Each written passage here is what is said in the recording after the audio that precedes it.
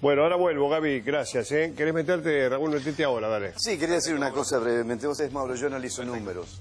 Los números de los costos de lo que paga el usuario están clarísimos. Lo que hay que mirar es el número complementario, que es la ganancia de las energéticas por balance de las mismas energéticas.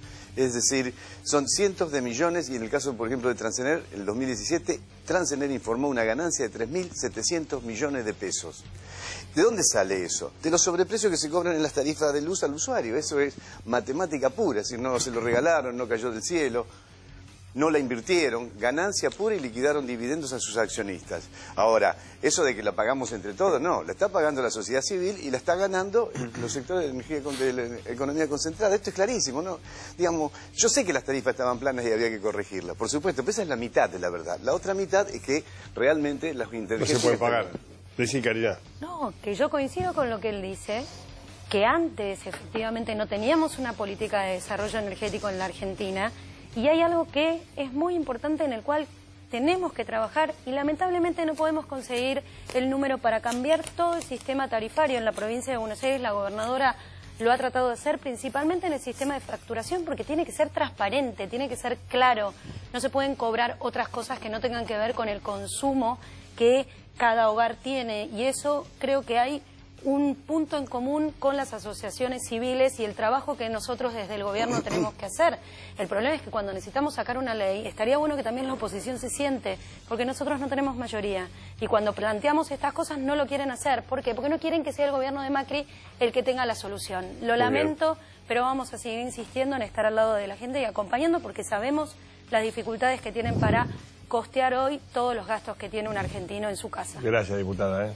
Gracias, Jonathan. remata, remata, si quieres. Con no, lo que quería aclarar que la discusión que no se suele dar es justamente cuál es el costo de la energía que se produce, porque de ahí deriva cuánto paga el usuario. Claro. Y el dato importante es que en 2015, en dólares, se paga la mitad de lo que se paga ahora. ¿Cuál es la diferencia de que el costo de energía haya aumentado en tres años el doble?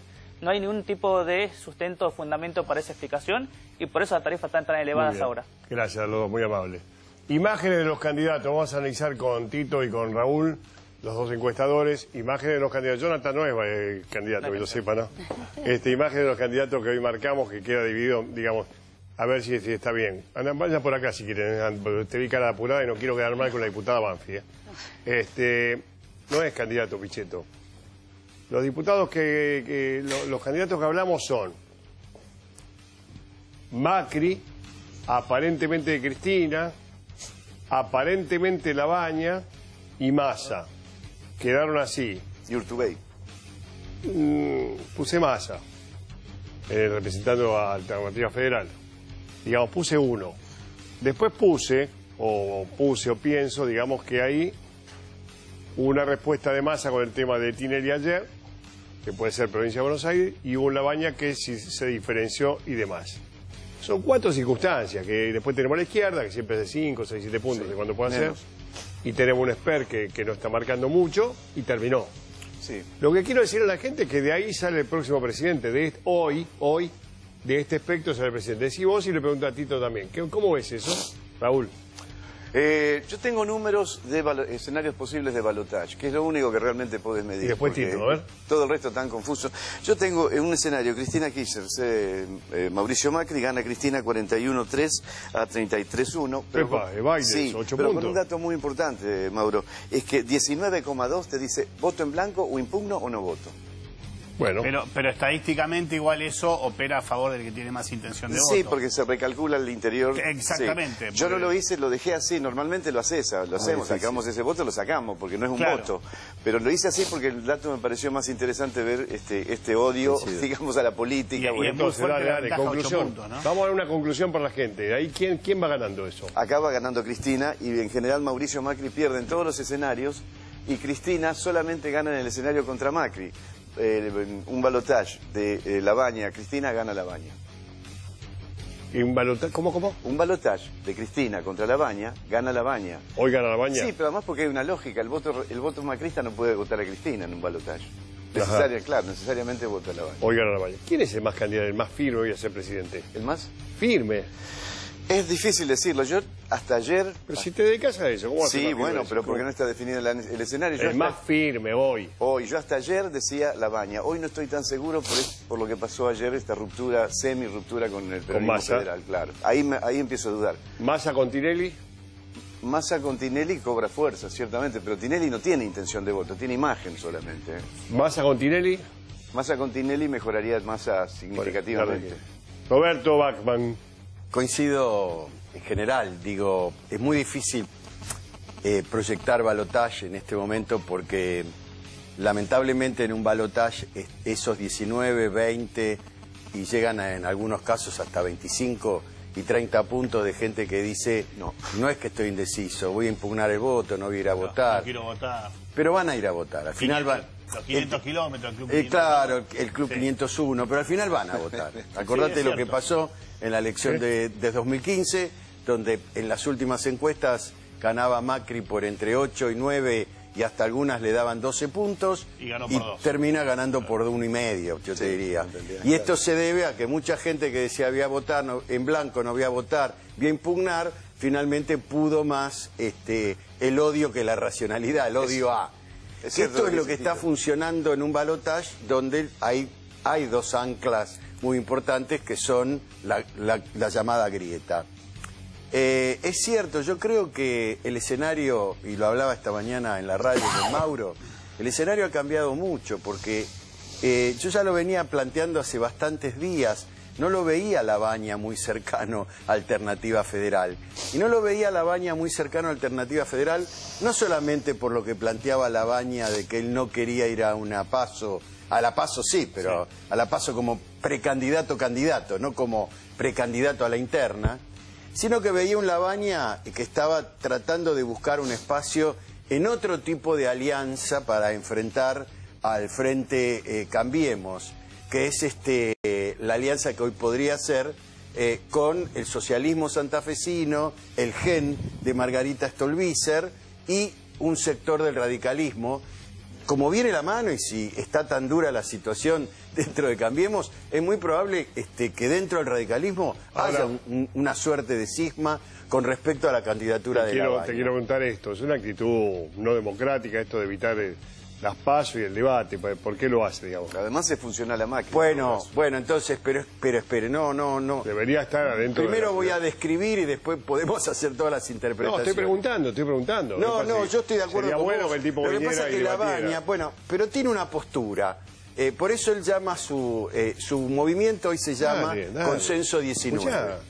Él plantea que en este momento él se presenta como un presidente de transición, que viene por estos cuatro próximos años para, con, una, con una, para darle una esperanza patriótica a la Argentina para salir de esta profunda crisis. Por eso él dice que no, no, no piensa que él tiene que ser un candidato de consenso, que no tiene que ir a ninguna interna, quizás no... Mal pensado, pésimamente pensado. Por supuesto, esto es su postura. hay que ver, a ir a una paso, es que la baña piensa que él va a poder crecer en esas estribaciones que decía bien Raúl, que son los desilusionados del, este, de Cambiemos. Pero, ¿a quién le roba más voto? ¿A, Macri? ¿A Cambiemos? A Macri, a Macri. En, la, posibilidad, roba más voto a Macri si vos lo mirabas hasta hace 20, 15, 20 días atrás, creo que vos... Déjame discutir esto, Lucio. Eh, a mí me parece que se equivocó desde el primer día esto porque todos sabíamos que no quería meterse en ninguna paso. Y la verdad que lo que dice Massa, lo que dice Ortubey, es te obliga a esto a meterte, ¿o no? Pero es así, pero además, este, y, cuando Labaña eh, lo habló con este Massa, lo habló con Urtubey, este, no se puso de acuerdo, lo fue a hablar con Schiaretti, que viajó a Córdoba. y Schiaretti, no, Schiaretti se lo, se lo habrá dicho mejor, porque Schiaretti está en otra dimensión en este momento. Schiaretti decidió dar un paso al costado y, abroquelarse en Córdoba, eh. volver a ganar Córdoba, aprovechando el, este, el cisma radical. Y se lo dijo claramente, acá no hay espacio. Pero la baña también plantea, y acá viene el tema, que lo que él está viendo es que eh, él no quiere trabajar para la corporación política del PJ. Claro. y acá vamos a hablar sinceramente esto, porque la baña piensa que eh, Massa está haciendo todo lo posible para terminar en la corporación PJ con Cristina, pero, vamos aprovechando la fuerza que tiene Cristina en las encuestas. es impresionante la postura pero, está bien, pero la crisis la llevó a esto. Pero Massa representa el peronismo, ¿o no? Y pero por supuesto. Y entonces de qué la Baña fue ministro, no lo sabe. Pero la Baña fue ministro de dos presidentes peronistas eh, también. Y fue tercero de un ministro de un presidente radical. Y por supuesto, entonces no va a cuestionar la pertenencia de cada uno para que claro, la de la Baña. Como dicen los americanos, la Baña quiere posicionarse en este momento en el dicho americano catch all, ¿no? Tomar todo. Quiere, quiere, quiere eh, posicionarse como un candidato catch all, tomo de este lado, tomo de este lado. Entonces, ¿qué hace? Pero, toma puchitos. Claro, claro, claro.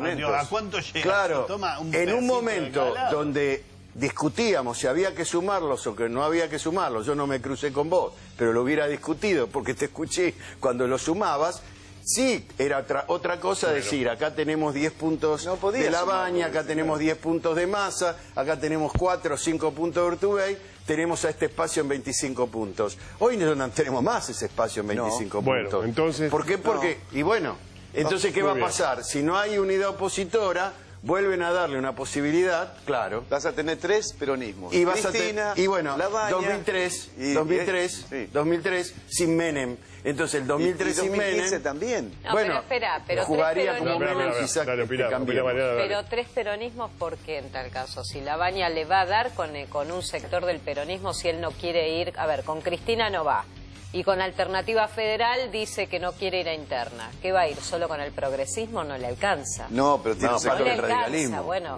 Él está jugando a eso. Está bien, pero ¿a qué? ¿A, que el, ¿A que el peronismo venga al pie con él? No, no, está jugando a la crisis de, del radicalismo con Cambiemos. Pero no Incluso alcanza, está jugando muy fuerte en la, en la Por capital. Eso no ni el porque piensa, piensa que el Cotino Siglia quizás rompa la capital y por eso le están ofreciendo la candidatura a Lustó. No, no alcanza, Roberto, como te dice Valero, Pero no alcanza, yo sé que no, alcanza. para, ni, para empatar. Sí, bueno, estamos muy nerviosos todos. No, yo estoy, yo estoy no, pero claramente claro que me ponga nerviosa. No, pues no le decís al resto si se pone nerviosa. Bueno. Eh, la realidad es que si la baña la idea es dividir el voto, el voto peronista, si la baña la idea es hacer un consenso solamente con el progresismo, no le va a alcanzar. Esto es lo que yo quiero entender de concepto, por eso quiero volver, quiero volver a esto. Si dividir claramente no va a hacer que el peronismo gane, ¿Qué es lo que quiere la baña con esto? que vayan al pie. Quiero entender la estrategia, si es una estrategia o si realmente es una posición de que alguien le hace creer que solo puede llegar y que el resto va a venir al Primero, pie. Eso es lo que quiero entender. Según me dicen las encuestas que está leyendo, le dan mucho más de lo que le damos todos los demás. Y no es así. Tiene 9, 10 puntos en el mejor de los casos. Así es. ¿no? Segundo, segundo, a lo que él está jugando es que Macri no entre en el, en el balotaje y él pelear con Cristina. Porque está tan fragmentado todo que sin él, sin esos 9, 8, 10 puntos, el peronismo federal se achica mucho. Entonces, entonces en, esa lógica, sigo esa lógica, ¿tiene chances la baña de ganar la Cristina cuando hay otro sector del peronismo que diría, no, si la baña va con el progresismo, bueno, hay ¿Y sabes por qué? Porque todo el PRO votaría la baña, no votaría a Cristina. El voto PRO no puede votar nunca a Cristina. Esos 25, 23... ¿Y si Cristina no fuese la candidata? Ah, yo creo que se, unifica el peronismo. Se termina toda la discusión. No hay más discusión, se unifica el peronismo. a ver, eh, entonces, ¿qué está esperando? Pero entonces vuelvo al tema de la estrategia. Espera, pregunto. a ver si hay estrategia o es... tenemos, ahí tenemos, estamos en un juego barroso. Eh, lo que ocurrió es que la realidad fue llevando al, al, al peronismo a encontrar, especialmente en los grandes núcleos este, urbanos argentinos. Te estoy hablando de este, el Gran Buenos Aires, el Gran Rosario. Eh, olvídate de Córdoba. olvídate de Córdoba, eh, por eso. Mar del Plata, La Plata. Pero espera que hay que ver cómo juega Cristina después, ahora dando un paso al costado y volviendo después Cristina en el Gran Córdoba como posible candidata. Mar del Plata, este, en parte de Bahía Blanca, eh, provincias pequeñas del sur como Neuquén, de gente que no la votaba, no votó a este a Río Seco y, votó al Movimiento Popular Neuquino, el 35% de los votantes del Movimiento Popular Neuquino la van a votar a Cristina en, en agosto, en Las Pasos. ¿Y, en el norte? Y en el norte ni hablar de Tucumán, se están peleando por Cristina.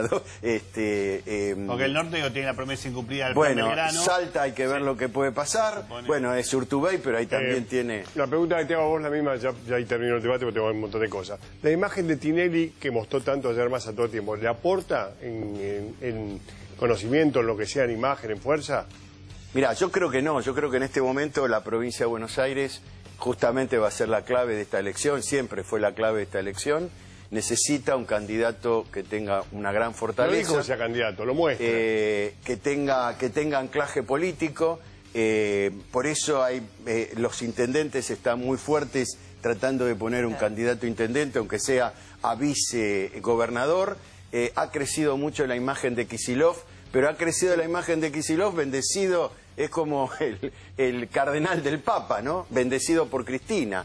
Yo no sé si Tinelli va a poder dar ese... En este momento tan difícil de la Argentina, no es lo mismo de lo que ocurrió en Tucumán con Palito Ortega o en Santa Fe con Reutemann. Era otro momento de la Argentina. En Tucumán era un momento donde toda la, toda la estructura política, todo el peronismo era tucumano. No, pero importa que era menemista. Iba contra Bussi, iba, iba a terminar con el gobierno de Bussi.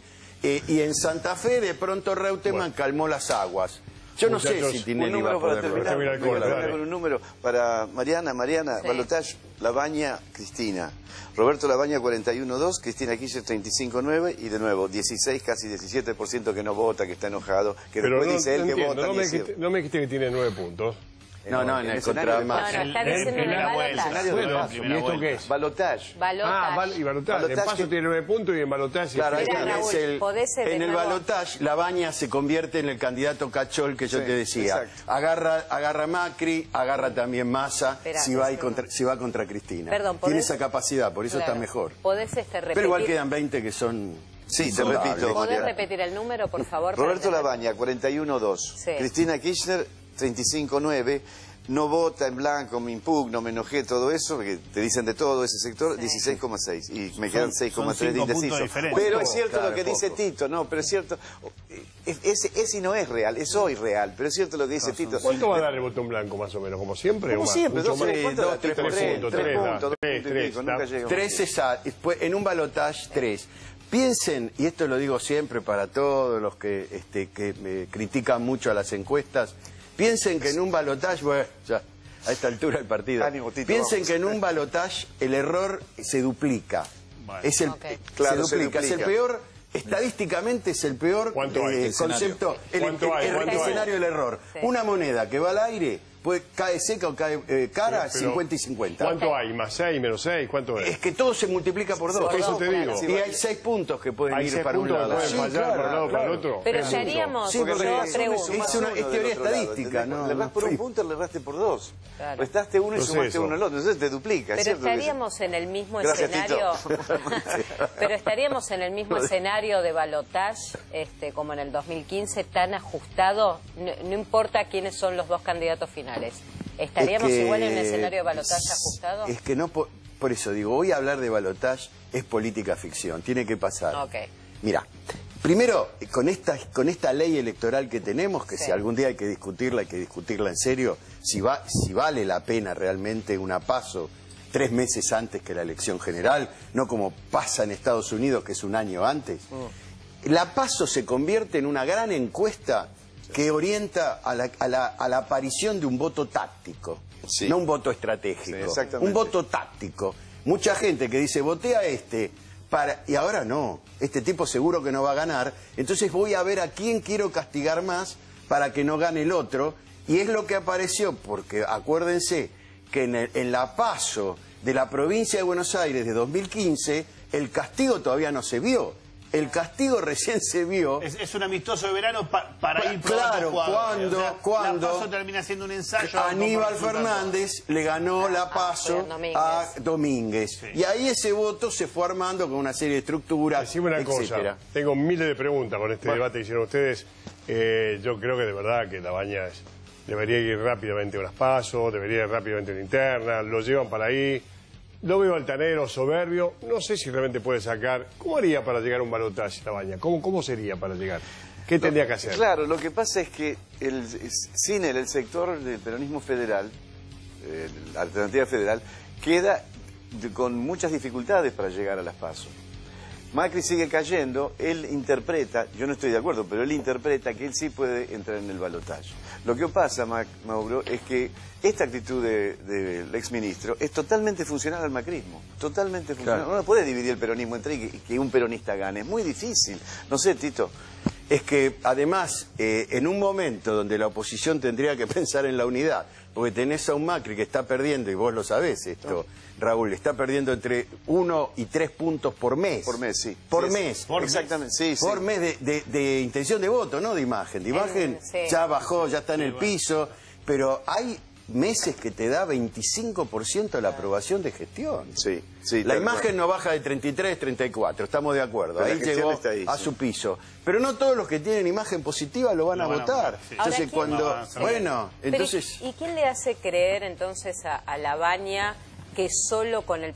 Yo, quiero entender esto. ¿Quién le hace creer a la Baña que solo con el progresismo puede? Con esta historia del consenso Es verdad ese dato, ¿eh? No alcanza ni para nada. Pero por eso, ¿quién, ¿quién, le hace creer...? Le están haciendo creer que, parte del radicalismo va a jugar con él y, que parte del, y que va a tener el apoyo porque alguien le está haciendo creer a la Baña, creo que la Baña juega esto, que la Baña puede ser el verdadero plan B del Círculo Rojo Argentino, que es el establishment de las empresas argentinas que... y el... yo lo sé, pero... No es que la baña es el plan B del Círculo Rojo, la baña ya es el plan del Círculo Rojo, me parece Perfecto. no, hay duda. Después el electorado acompañado o no, pero, ustedes los empresarios muchos dijeron que Ustedes dijeron que funcionó la Macri, vos dijiste que funcionó la Macri. yo digo que funcionó Qué raro suena eso, ¿no? ¿Cómo? ¿Pero por qué funcionó la Macri? Porque te divide el peronismo entre sí, además, realmente es el, es el, sustituto de Macri desde... ¿Pero por qué funcionó la Macri? ¿Va a ser, ¿Quiere ser funcionario Macri? Porque rompe el peronismo. sí, por eso. ¿Funcionario a Macri? No sirve entonces.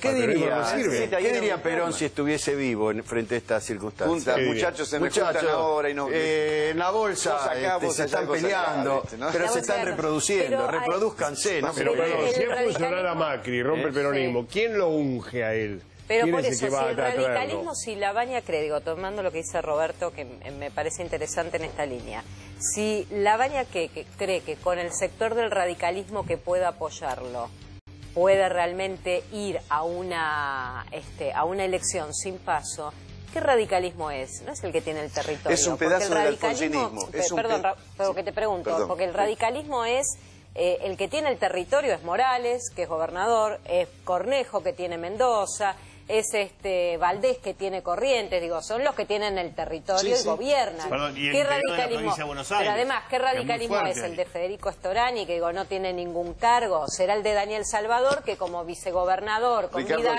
arman acuerdos. Pero ¿cuál, ¿cuál, radicalismo es? ¿Realmente tiene peso territorial ese? No, es un radicalismo que anda suelto por ahí, no, no tiene... Entonces no alcanza. Con no, no le alcanza. Pero ese, radicalismo, es una licencia poética mía, ¿eh? no, no, no, no lo, lo, digo yo solo. Es el recadismo de, la leyenda urbana del poder del Cotino Siglia.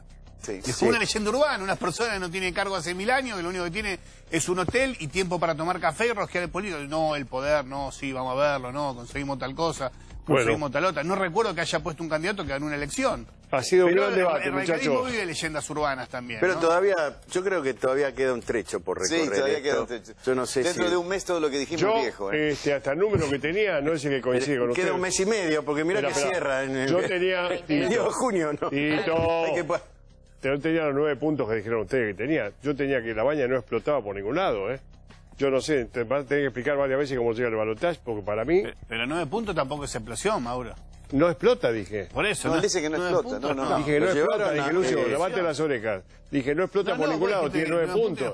Pero, lo dieron como una explosión. Y la pregunta que hace Mariana es con qué parte del radicalismo lo convencieron que puede llegar a disputar. Y yo te digo, tiene nueve puntos. ¿De qué estamos hablando? pero mirá si no lo dieron como explosión, si la baña ¿A dónde ve nunca se midió antes y alguna vez que se lo midió medía dos o tres puntos y en medio de todo esta, este nuevo lanzamiento de la baña subió nueve puntos. es un ruido. Bastante subió. Es un nueve puntos contra no 30 de lo demás. es un ruido. Contra 30 de Cristina o bueno, entonces, entonces es, posible, es posible que se baje.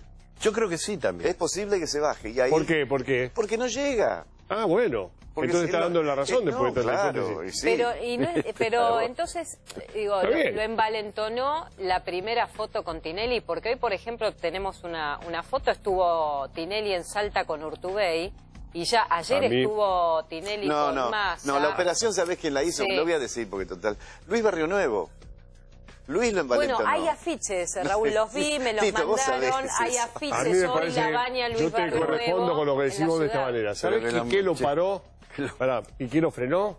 La, fortaleza de, de Massa y Urtubey de si venía interna. Porque todos pensaron que empezaba este ruido ah, y venía él como si fuera pero y le dijeron, está bien, pero vení y pasá con la interna. Pero Mauro, y de Schiaretti también, porque la reunión que mantuvieron en privado... Bueno, todos. Schiaretti y Labaña, que solo fue la foto y no hubo más declaraciones ni del gobernador, el gobernador de Córdoba le dijo, mirá que Alternativa Federal es para ir a la primaria, no es para ni candidatura de consenso ni nada. razón. y, vos podés decir, bueno, Massa y Urtubey quieren ir a la interna porque quieren ser candidatos. Pero está diciendo un gobernador, cierro con esto, te lo estoy diciendo un gobernador que no quiere ser candidato a presidente, que está pensando en su provincia, pero te dice, el espacio formado para primaria. Te doy tanto la razón que te doy un dato. Yo esperé en un momento que hasta saliera un documento de los, de los gobernadores diciéndole, lo escrito, diciéndole, bienvenido, usted es un hombre, pero venga a la interna, pues si no, no hay ninguna... Y ante esa negativa, como dice Raúl, yo creo que hasta puede bajarse. Es muy probable. no, no, hubo un documento, pero fue Schiaretti le puso un límite. Le dijo. lo dijo. Cuando la baña va a ver a Schiaretti esperando... Acaba de decir al lado tuyo, si escuchás no, un poquito. Bien, pero lo que te quiero decir es, vos decías un documento. No, no son tan un documento, un documento. Sí, pero no son tan formales. Sí, sí, iban, a, declarar un documento. Sí, pero si vas, a lo, lo vas a visitar a alguien esperando que no, a decirle, a decirle que estaban plácidos, encantados con la figura de él pero que la libertad indicaba que tenía que pasar por la interna. A ver, que Alternativa Federal, Mauro, lo hemos contado cuando fue la primera foto que se sacaron, Massa, Urtubey, Pichetto y Schiaretti, que fue la conformación de Alternativa Federal, desde el primer día dijeron, este espacio es amplio, está pensado para ir todos a primarias y no es solamente un espacio del peronismo. Nunca se planteó como un, espacio único sí, no, pero final, cortito, cortito. Eh, hablamos mucho de la baña, pero cuidado porque hablar de la baña y un balotaje, yo no sé cómo va a llegar un balotaje no, no, hoy la baña. Acabo de plantear eso. Por eso, pero seguro es al balotaje Cristina, Macri o Massa que puede crecer con alternativas. Gracias, Roberto. Gracias, Raúl. Gracias a vos. Han hecho un gran debate, muy democrático con interna, así que así acá... No, siempre estamos de acuerdo. No, no, interna, interna abierta y paso, lo que quieras.